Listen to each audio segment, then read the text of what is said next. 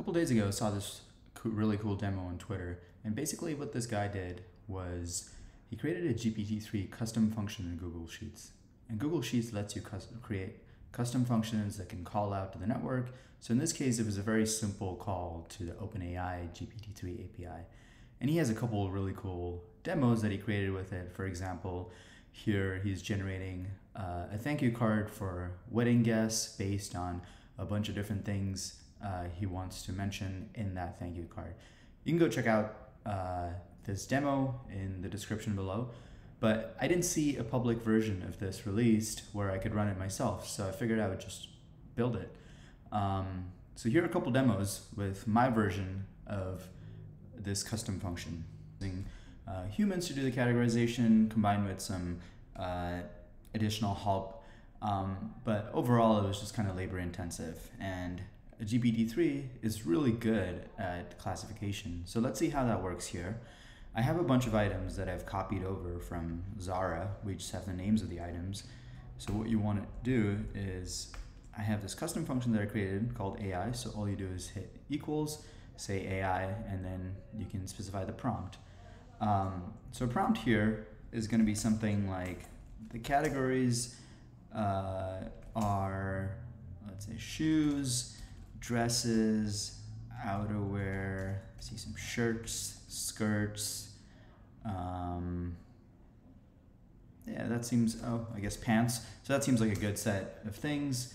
Uh, what category is, and the way you do string concatenation in Sheets is you use ampersand. So you hit ampersand.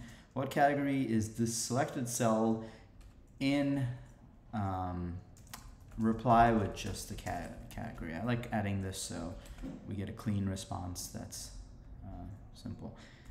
And let's see if it worked. Amazing. So now let's see if it works for everything else. So drag it down and amazing. So we got dresses, looks mostly right. It knows that moccasins are shoes. I guess this one was wrong, but other than that, I think everything else looks right. The sweater should be outerwear. I'm not sure why it's classifying it as shirts. Um, so it does a pretty good, decent job, and then you can have a human verify the actual results. So this is already great. Um, one thing I was trying to do is, you know, let's say we're exporting this, and I want these things to all be capitalized. And uh, the first time I did this, I looked around uh, for like a capitalized function in Excel. Um, let's say you have thousands of these items, it can be pretty annoying to like go fix all of them. But then I realized that GPT-3 uh, is actually getting pretty close in some ways to a general intelligence. So you can actually just ask the AI for to do the capitalization for you. So let's say we want to capitalize this word um, and do the same thing the ampersand and let's see. It's definitely to work on the shoes, but let's see what it looks like for everything else. And voila, there you have a very nicely cleaned uh, data, data set. Um, yeah, this is super cool. I mean, it's very simple, but um, the fact that you can just ask for it and you don't need to remember that uh, there's a function named something. You just be like, capitalize this word. That is so, so cool. So let's call this standardized category. So GPT-3 is good at classification, as we've seen. It can also do some really powerful uh, creative writing or generation of text. So let's say we want to write some like Facebook ad copy and let's try a different prompt for that. So here we're going to say, write a creative ad for the following product to run on Facebook aimed at Gen Z. So this will hopefully result in some fun things. So we just give it the name. And uh, the second parameter here is temperature. And I kind of think of temperature as creativities, one being super creative and zero being something you'd use for a classification task, which um, some where you want it to be exact and give you precisely the right answer. Cool. Let's uh, let's wrap this and see what it looks like. Looking for something unique and stylish? Check out our heeled cowboy boots. They're perfect for making a statement and adding a touch of edge to any outfit. That's pretty great. Um, let's see how it works for everything else.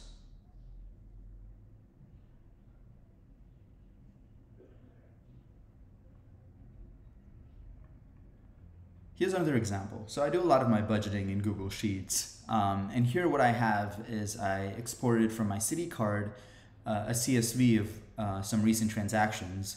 And this is another categorization or classification task that I want to do. Um, and I created a nifty little tool um, on top of the AI function. And this is uh, specifically a categorized function, so you don't need to write like a long prompt uh, like we did last time. So first, um, let's define the categories that we have. Uh, so looking at this, you know, uh, we have food, transportation, um, clothing, groceries. Uh, I think there's some uh, sports, um, and then we can say others. And what we do is go here and create a category column, categorize, and then you choose these and just have to use the credit card line item as the input. So let's see how it works on this. Great. So El Bambino is a restaurant and it correctly guessed it as, as food. I'm not really sure how it even did that, but uh, it works. So let's fix this range for the categories and then Let's drag it down for the rest of the cells, see how it does. Cool, so we've got Citi Bike and Uber as transportation. All these Amazon things are just classified as other. Um, it looks pretty decent. Um, we got one of these seamless orders as other when it really should be food. Um, so one thing we could do is we could extend this to Google this line item and use feed the context from Google. So maybe use the description or the title of the first search result and I think I think the AI will be able to get 95 to maybe 99% of these categories exactly right, uh, assuming there are some Google search results for for what you searched for. Um, but one cool thing that I specifically added was I added a bunch of uh, a way to like add rules. So you could say something like anything that contains um, seamless or uh, seamless is categorized as food. Cool.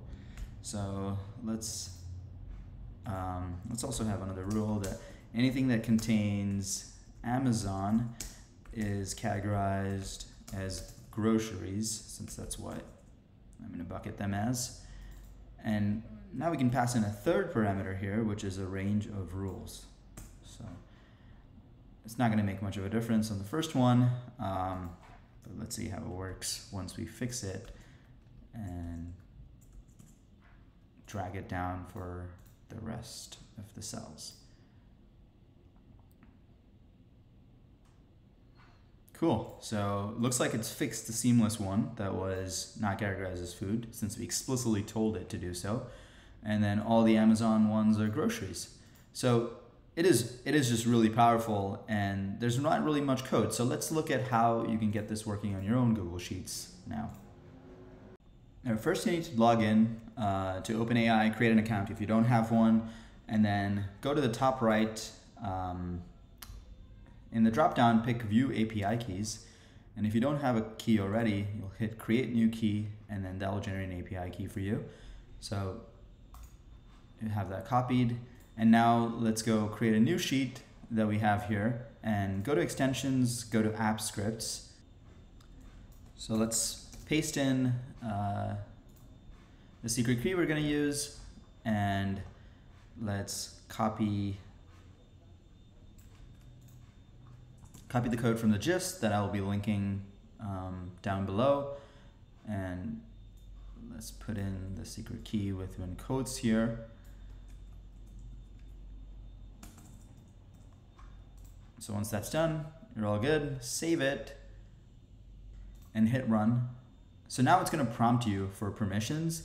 And basically, Google is asking you to give permissions uh, to run the code that you just pasted in um, on your own um, account. And there's nothing sketchy about the code. You can look at the code. So there's no calls being made. Um, so you go into advanced and then you hit allow. And once you do that and authorization is successful, should be all good to go. So now if we go back to the sheet, we see that we have this AI custom function. So let's say, write me a short story about Little Red Robin. I have no idea what that is, but let's give it a shot.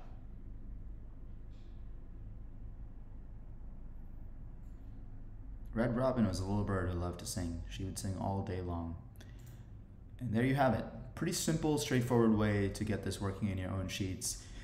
If you're on a free trial, you might get rate limited uh, by OpenAI. You can pay for it, and um, that should give you much higher rate limits